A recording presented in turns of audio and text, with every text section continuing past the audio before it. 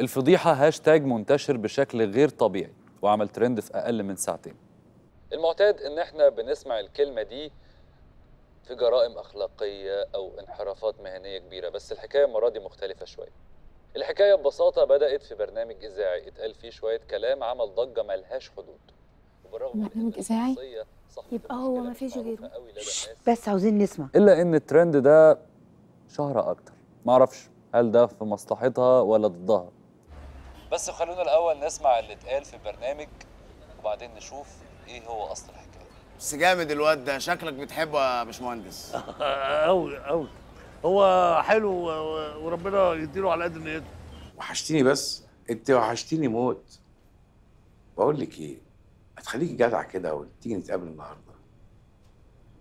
متأخر إيه؟ ده الساعة 11 هوديكي مكان عمرك ما شفتيه. وبيسهر لغاية الفجر. إيه رأيك؟ لا مؤاخذة يا ريس مؤاخذة يا رمزي. أنت مش شايفني بحب في التليفون؟ غصب عني معلش لكن الحوار بتاع الأستاذ عبد الله بيتذاع على برنامج مازن فؤاد. هو عبد الله إيه؟ مش فاهم حاجة. ومعانا على التليفون الأستاذة أشجان. أهلا وسهلا بحضرتك في البرنامج يا فندم. أهلا بيك يا أستاذ مازن. مبدئيا إحنا بنعتذر عن الكلمة اللي إحنا بدأنا بيها الفقرة دي. وحابب أوضح إن إحنا بنقصد الهاشتاج اللي انتشر مش الموقف اللي يخص حضرتك. يا فندم الموقف كان فضيحة فعلا وأنا بعترف بده.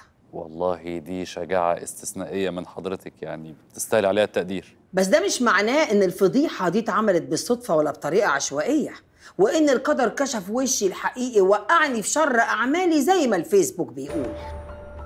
يا فندم دي مؤامرة ومؤامرة متدبرة بمنتهى الخبث واللؤم والندالة. واللي عملها قاصد يحطمني ويدمر سمعتي.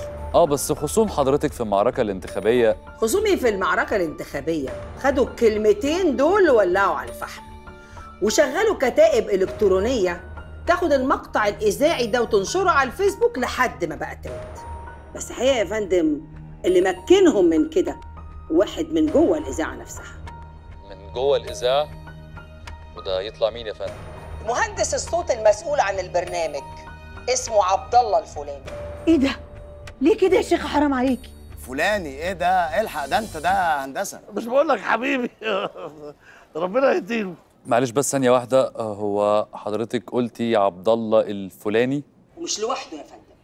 هو أكيد سلط المذيعة إنها تستدرجني في الكلام الخايب اللي اتقال ده في الفاصل عشان دي يذيعوا على الهوا بدل الفاصل. انت حيوانة وسفله وتستاهلي الحرق. إيه هي مصلحة الباشمهندس عبد الله الفلاني في انه يأذي حضرتك يعني؟ خصومة يا فندم. خصومة بيني وبينه اتعملت في محضر رسمي وللأسف أنا اتنازلت عنه. كده خير بتاع يا عبد الله. إن ابني كان بيخرج مسرحية. اشجان ولعتها في وشك؟ وأنا مش هعرف اطفيها زميلته. فمشاها من المسرحية. فجت بقى صاحبتها بنت عبد الله الفلاني واتخانقت مع ابني وضربته وكسرت له دراعه. وعملنا محضر بكده. وبالمناسبة يا فندم البنت اللي اسمها مريم عبد ربه دي ملهاش أي ذنب في اللي حصل. دي بنت مؤدبة جدا وشريفة. الحقيقة السوشيال ميديا ظلمتها زي ما ظلمتني بالظبط. وحكاية التحرش والكلام ده كلام فارغ ما حصلش. أهو! سمعت؟ الحمد لله! مش حقيقي! أختك زي الفل!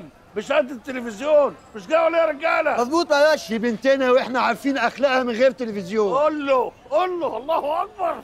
انت مالك فرحان كده ليه؟ على فكرة انت اللي بيسيح له في التلفزيون دلوقتي. يا سيدي ما يتسيح لي. شفني أنا رئيس الوزراء. واحد مده على حسابه. يا عمي هات له. بسرعة.